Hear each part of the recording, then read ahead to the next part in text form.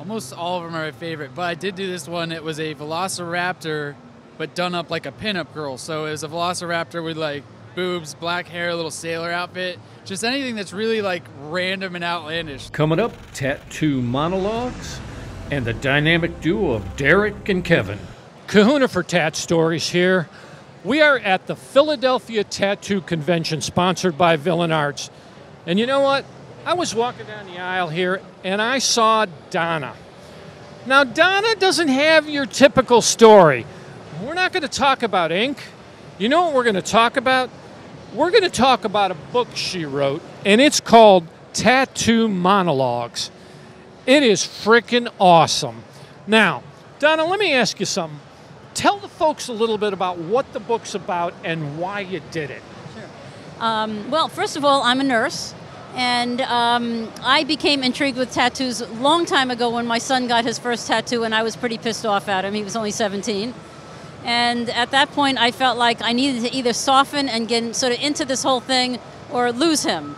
So I became intrigued with tattoos. I began asking my patients about their tattoos and what they meant. And there was a theme that emerged, and it had to do with overcoming a life difficulty or a trauma, as traumatic as losing a child, uh, or being injured, or having a cerebral aneurysm, recovering from substance abuse. Um, so I pledged that someday I would do this book, and then I realized someday has to be today because someday may never come. So, Donna, you're right. Sometimes, some days never come. Now, what caught my eye as I walked by, you know what one of the chapters was called? Sick of this shit. Now, that got my attention, and as a result, we started talking. What do you think was the most compelling story that you heard from all the folks you talked to? the most compelling was someone who I worked with. She was actually my administrative assistant, and she lost a daughter who also worked in our office in her 20s to a car accident. And it was devastating not only to her and her family, but to all of our staff.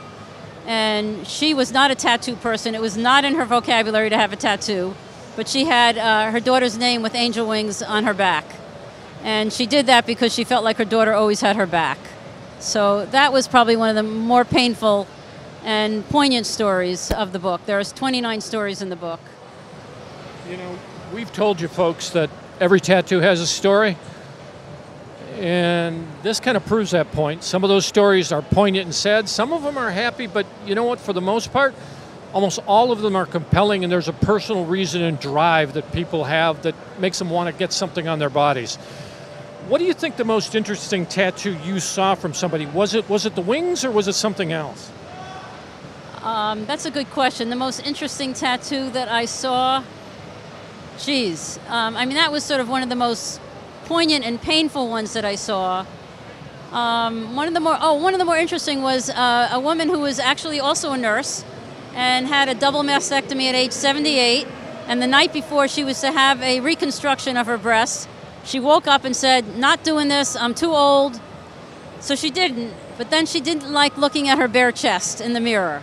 So she was an environmentalist and a social activist, and she did a huge tattoo on her chest of butterflies and bees and flowers and birds.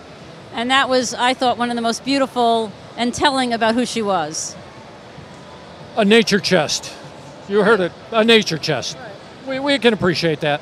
Well, I'll tell you, folks, this is a book you need to pick up. It's called Tattoo Monologues. Now, where can folks find it? Uh, they can find it at uh, bookshop.com, at Barnes & Nobles, or at Amazon. Okay, you heard it. Amazon, the evil empire, gets another one. That's why I said it last. Well, Donna, thank you so much. This is an amazing book. We want to make sure that you guys see it. Take a look, take a read on it. It's got some incredibly compelling stories. You know, in many ways, we do the same thing here on Tat Stories. You will see us interview people, and they will tell you about their pain. Well, they've told Donna about hers, and she's actually give you some very interesting viewpoints on that, and we want to thank her. This is Kahuna. That's Donna. This is Tattoo Monologues. We are in Philadelphia. We thank you, and we are out.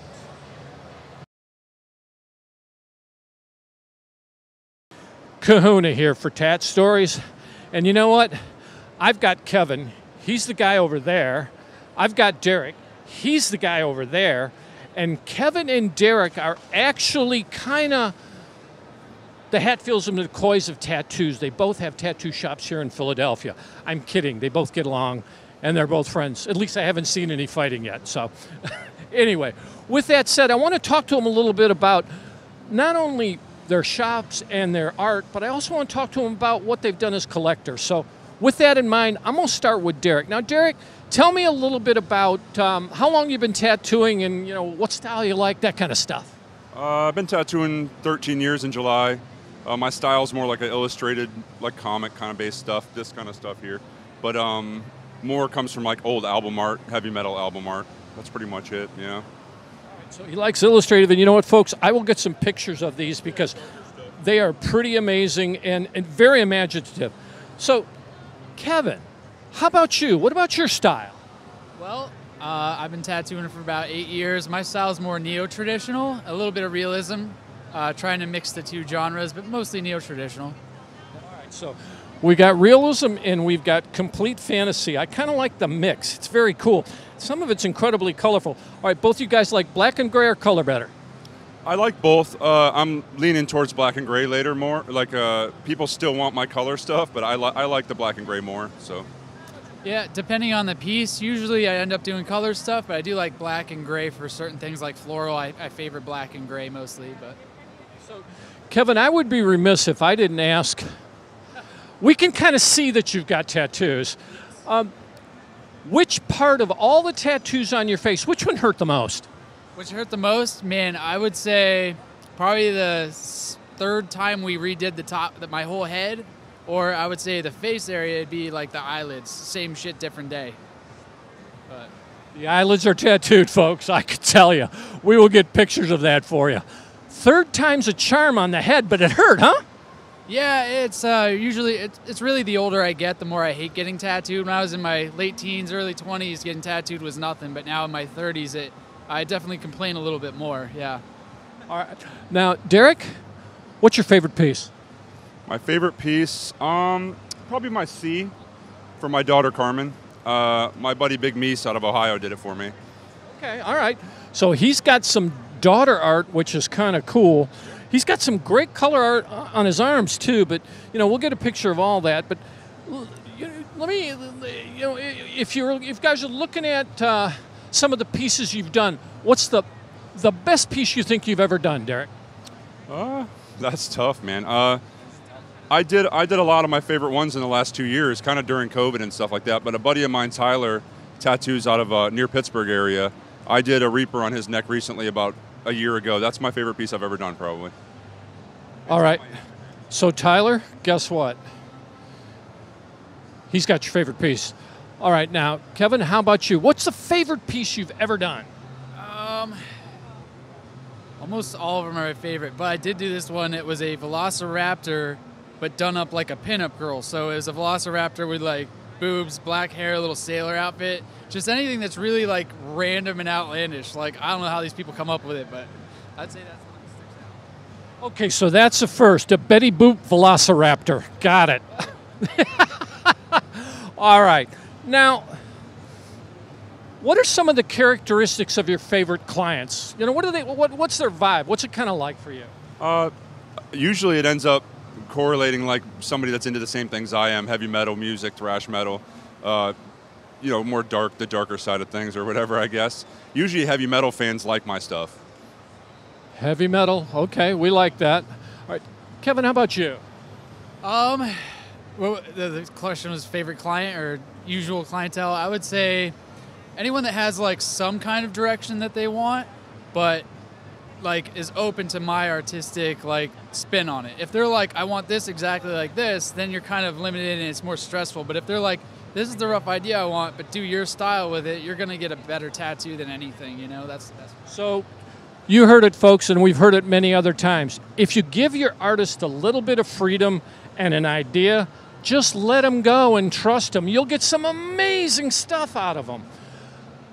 If you had to think about,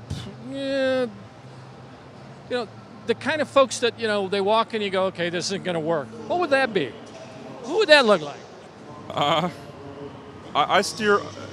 I try to help everybody when they want a tattoo, but I've lately I've been sticking more toward like what I, what I do, uh, because I think there's people better suited for other tattoos. You know what I mean? So I just stick to what I can do, and then we have other guys at the shop that are more interested in doing the other stuff. So I like it. He's got stuff he likes to do.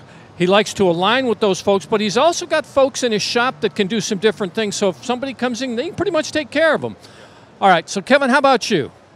Yeah, pretty much the same. I'd say a major turnoff for me if someone comes in to get tattooed is when they ask, "What's what's your minimum? What's the cheapest you go?" Then you're kind of like, "Well, you're not going to get anything that's worth me even taking my time to do."